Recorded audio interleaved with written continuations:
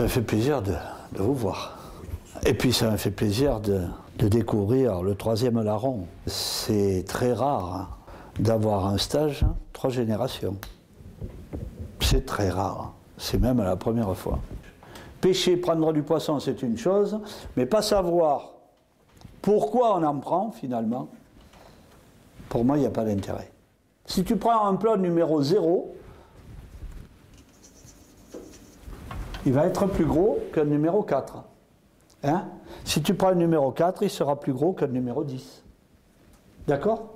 Plus tu vas vers 0, plus tu as des plombs qui servent à tuer les sangliers. On est assez emmerdé euh, tout le reste du temps dans le boulot, dans la semaine, etc., etc. La pêche, il faut que ce soit l'explosion de tout ça, l'effacement total de tout ça. Mais attention, si on ne s'en donne pas les moyens, on n'y arrive jamais à ce nirvana. Hein. C'est la beauté du métier que je fais qui accorde des chances pareilles. D'avoir, d'aimer la pêche comme je l'aime et de voir euh, trois générations venir à moi avec euh, des motivations, des... C'est le pied quoi. Ouais, ouais, c'est franchement, c'est extra. Quand il n'y a pas de, courant, la ligne, elle est comme ça. Hein. Ici, il y a du courant qui va dans ce sens. Bien, quand le courant va prendre la ligne, regarde ce que ça va faire. Le léger va passer devant. Et tu vois Voilà. Et là, je vais avoir la part qui passe avant les plombs. Essaye d'en attraper une avec un papy quand même. Hein. Donc, là, je la prends. Alors, pique là, voilà. Que je, non, je vais te montrer un petit peu parce que tu as oublié. C'est une pêche qui est très très complexe et qui a une technique très très étendue. Il est vrai que pour euh, le, grand-père ou, Christophe, qui est le père du petit Julien, euh, on peut aller plus loin dans la technique, avancer davantage. Pour un jeune euh, de 10 à 12 ans, il faut avoir une approche plus modérée, plus douce, euh, lui faire essayer de lui donner goût à la pêche. Après la technique, on aura le temps de le lui apprendre vraiment.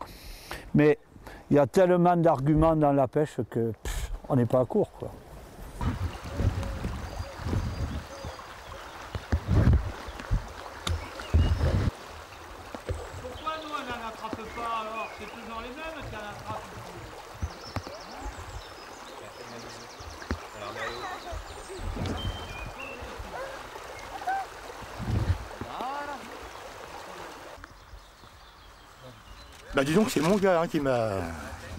Qui, qui, connaissait Pierre Sampé. Et un jour on a dit bah, on ira faire un chat avec M. Pierre Sampé. Et effectivement, je ne le regrette pas parce qu'on apprend certaines choses qu'on ignorait, disons. Hein. J'ai la chance d'être avec des gens à qui j'enseigne du mieux possible le peu que je sais. Et obligatoirement, je suis porté à réflexion. Et la réflexion m'apprend beaucoup.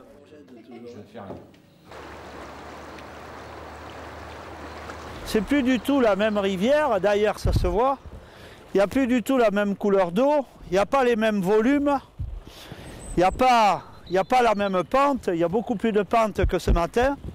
Dans les stages, il faut aller en augmentant les difficultés. Ce matin, on a fait plutôt une approche assez généraliste avec le positionnement, apprendre un peu à regarder et à commencer à apprendre à lire la rivière. Puis cet après-midi, on a pris pas des grosses profondeurs, mais un volume un peu plus large. Là, là, là, ça pêche très bien, là. Regarde. Hein? Tiens, tu vois?